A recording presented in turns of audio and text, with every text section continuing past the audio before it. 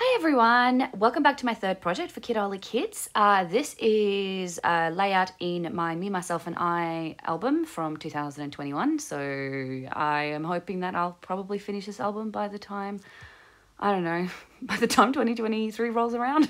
Um, the prompt for this particular uh, page is, what's it called? It's favorite thing about me and so I've got some photos about me, but I wanted to use this doily and do a bit of mixed media on it. I did not know if this was going to work, and I'm surprised that it did.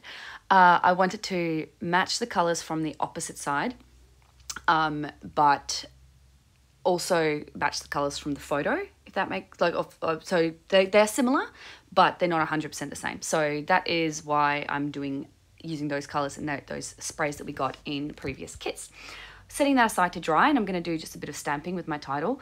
Um, now you might get confused because I'm going to start by stamping um, number 26.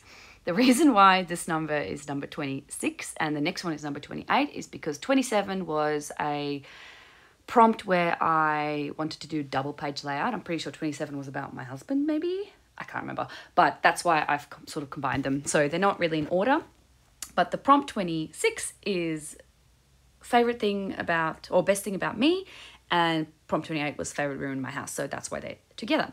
So i am doing some stamping using that alpha stamp and i'm using um, archival ink black archival ink uh, just to do that stamping and i'm just stamping the title.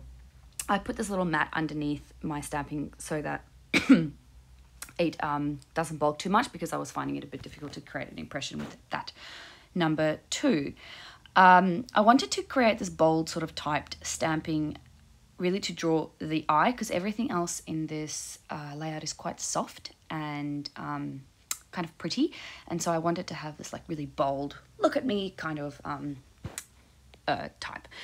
Anyway, so I am taking this rainbow paper, which I loved, but I accident actually had to just cut into for other projects as um, this month, but I wanted to use that whole paper, so I'm just using this tiny little strip of it because I was like, I am determined to use it for something on purpose. So I'm using this tiny little strip. Uh, I pre printed my journaling, adding a little title to my journaling. Can't remember what it says. I think it says something like "You've got this," uh, and the reason why I do that is because my all my journaling is about how awkward I find it to write about good things about myself, and so I thought that that was like a nice little uh, sentiments like you can do it. You can say nice things about yourself.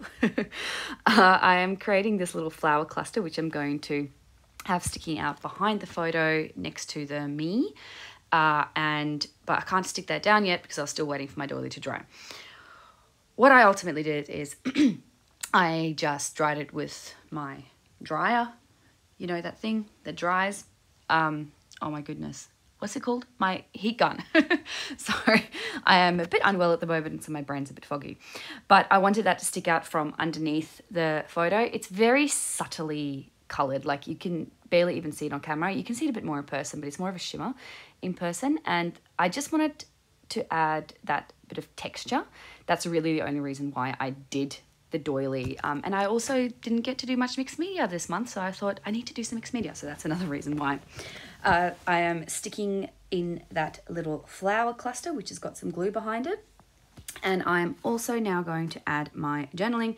I'm just going to plonk it right there. It was meant to go underneath, but I must have sized everything wrong. And so it is overlapping with my photo a little bit, which is actually a look I quite like. So I'm happy, it was a happy accident. Uh, adding another little matching cluster of flowers down here.